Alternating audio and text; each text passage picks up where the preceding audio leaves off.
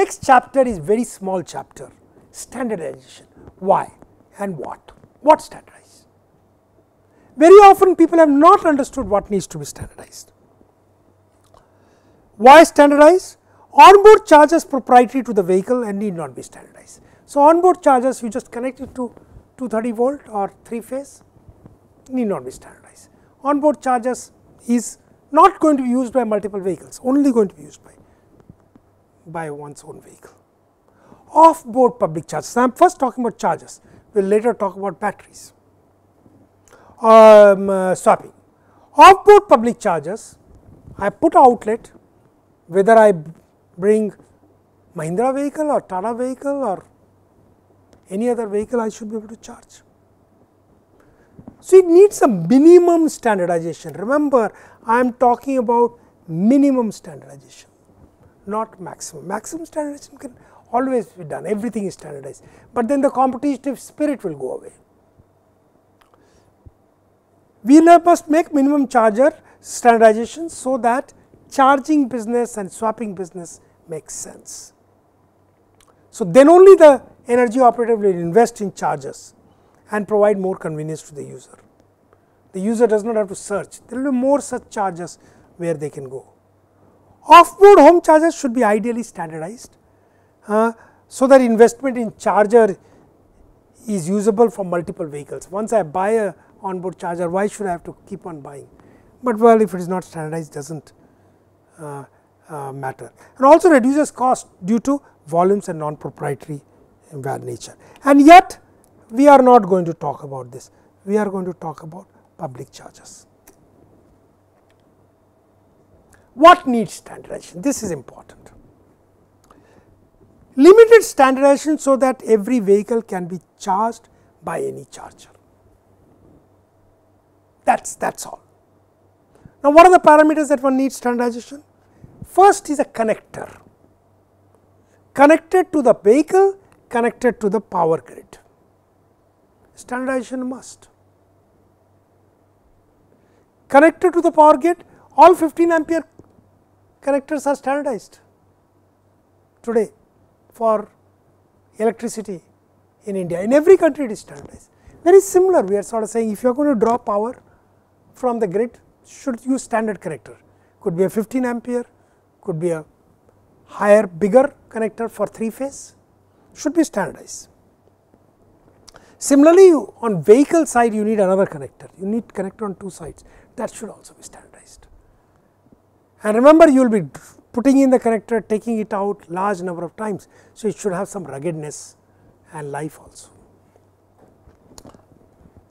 Second is limits of charging voltage and charging power, limits. Power and voltage need not be standardized. One can say any voltage between 200 volt to 700 volt that is a standard. Now, as long as the battery, vehicle battery needs between 200 to 700 volts, you can put it in, it will communicate, communication will take place between the vehicle and the charger and it will set the voltage that the vehicle needs. Should be limits should be standardized. It can't be that a charger has only one range of voltage and then somebody comes with another range of voltage. So, you can say it will be less than 700 volts, it will be less than 200 volts, then any vehicle battery which has less than 200 volts will work. Hmm? Sometimes there may be a lower limit also, you may not, if somebody wants a 24 volt, may not be good to charge with that. Hmm? Communication protocol with the energy operator. In the charger, the charger and communication protocol with the vehicle. Remember the vehicle and the charger has to talk to decide what voltage, what power. It must be standard. Hmm? That is a communication protocol. That is a that is what protocol is essentially a software, the language that they both understand. Similarly, a protocol with the energy operator, you are going to communicate with the energy operator I am going to draw 20, uh, 50 kilowatt of power, uh, power for the next so many minutes. Please allow me to. Grid says no, no, no, I will give you only 20 kilowatt, reduce. that needs to be standardized. What is the amount of charging? Say, well, you are trying to draw more power, I will charge you 8 rupees per unit. So, that needs to be standardized. What also needs to be standardized is protection and safety. So, to ensure that there is a protected and safety. So, essentially you need connector, maximum voltage and power, communication protocol and protection and safety that is all. Other things need not be standardized. What is the efficiency of charger? While it matters, finally vehicle battery will be charged. Of course, more energy is used. Hmm? Power factor. Now, grid may want a certain power factor, but need not be standardized. Maximum size and weight hmm, of the charger need not be standardized or for the battery. What are the standardization efforts in the world? Japan started early for standardizing EV charger.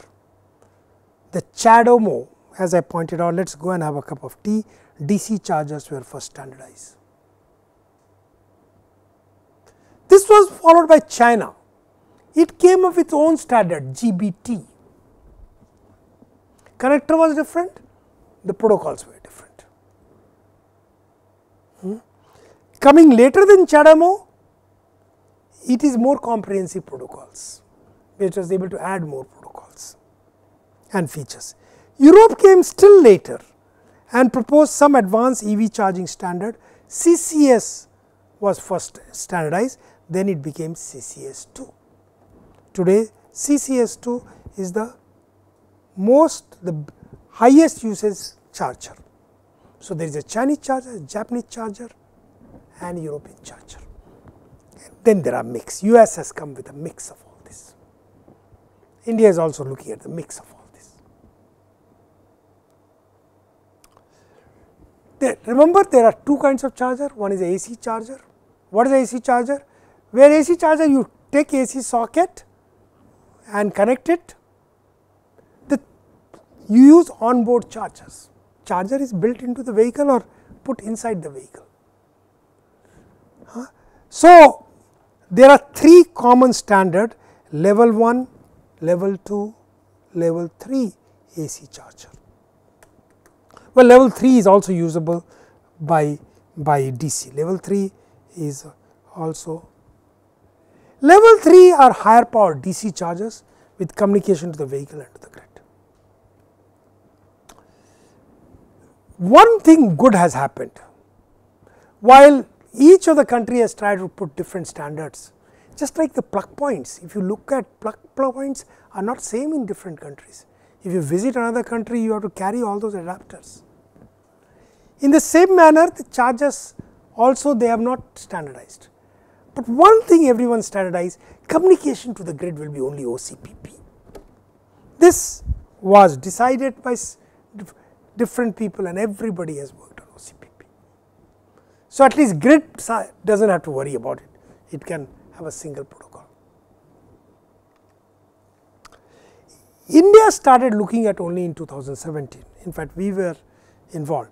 And one of the key issue in India was will the charges be affordable, will the vehicles be affordable. So, there are two standardization took place and we will get into more detail later on. One is AC 001, it is a simple plug point say industrial plug 15 ampere, you connect to single phase, you connect it. You can have 3 phase for 3 chargers, a single phase for a charger. It is a 3 kilowatt AC charger. The second was for a low end vehicle up to 15 kilowatt charger, DC 001, it is called DC 001. It, it was designed for 48 volts, 60 volts or 72 volts.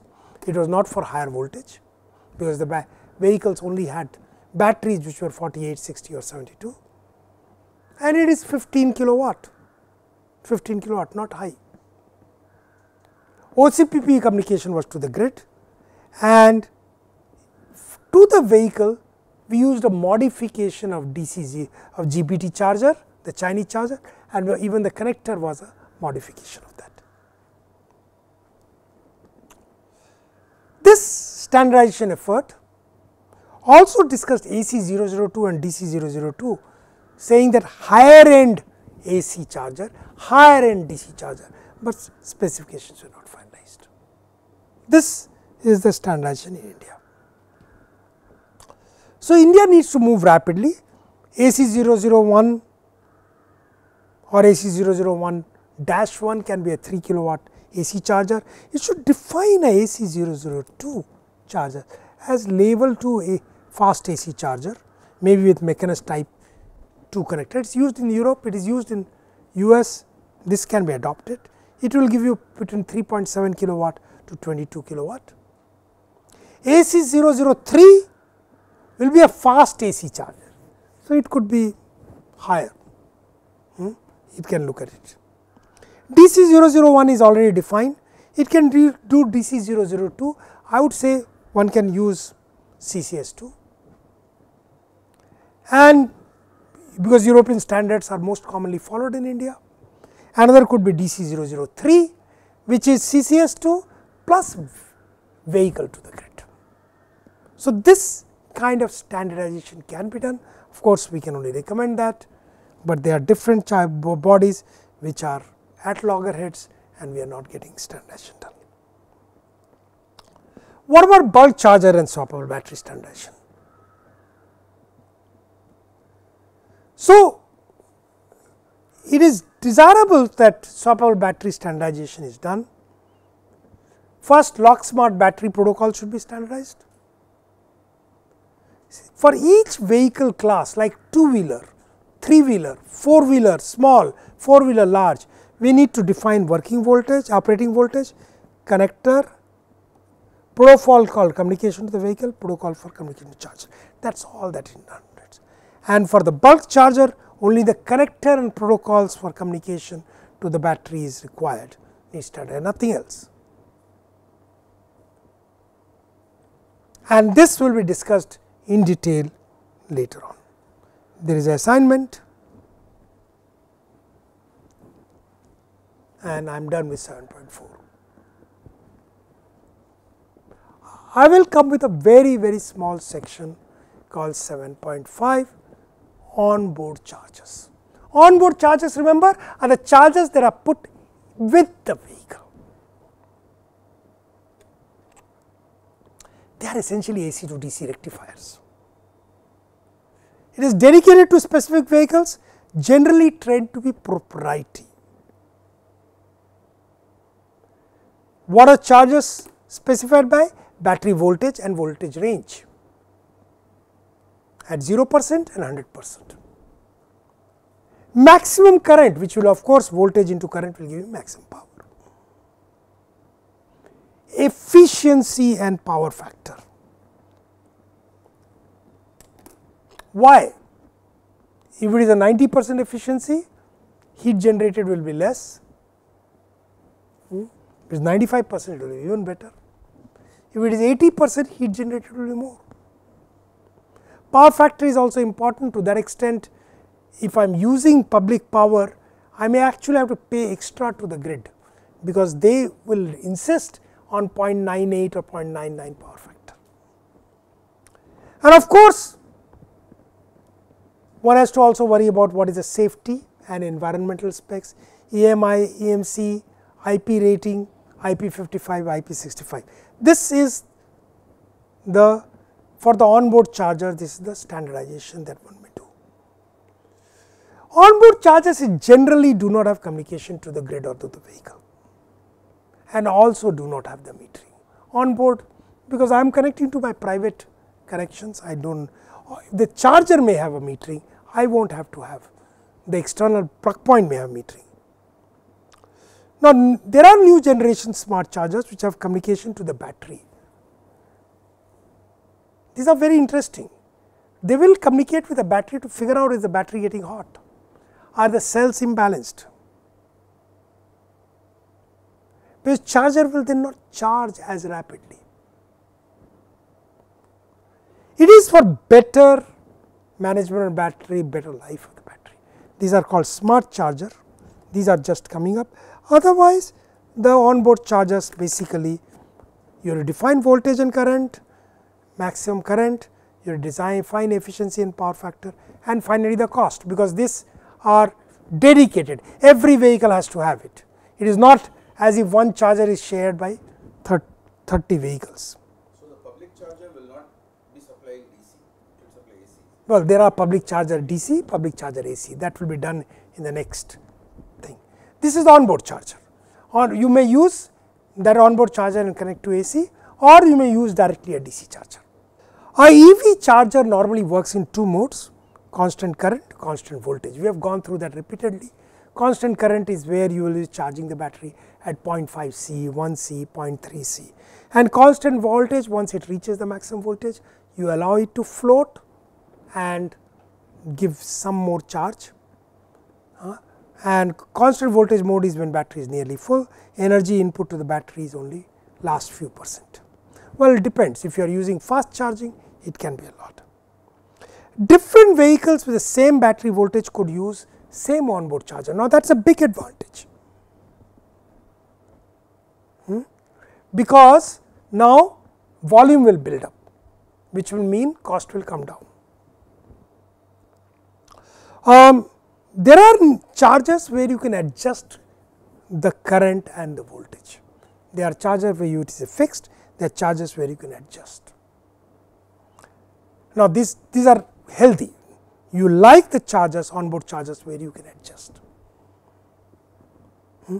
And there can be auto adjust, that is a smart charger. We will say, well, temperature is high, I will charge very slowly. Hmm? So, in constant current, normally you can charge at higher current, lower current and software communication.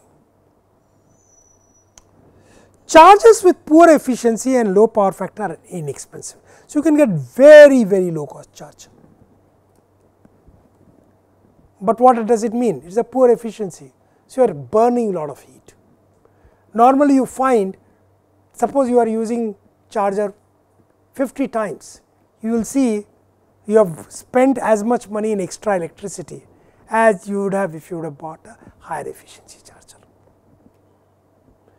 Yet lower cost chargers are attractive, you are burning more power, you are paying there, you do not think of it upfront cost, you do not want to pay 2000 rupees, you want 1300 rupees. Huh? In long run more expensive. Now, advances in power electronics has made these chargers efficient with power factor corrections, small in size and low weight in recent years. So, this has happened cost slightly higher, only slightly the cost between the two also is going down. AC power after rectification is converted to high frequency signal. So, first thing is a simple full bridge diode rectifier, after that you convert it to high frequency signal. High frequency transformers are used to reduce or increase the voltage levels and then rectification is again carried out and the whole process is controlled by 6 software. This is the way today the chargers, new generation chargers are made. All generation chargers did not used to be made like this, where you used to 30 volts, 50 hertz and you first put a transformer to reduce to reduce the voltage and then rectify it. The transformer used to be bulky, expensive and there was huge losses. This is the new generation chargers, pretty much done. Thank you.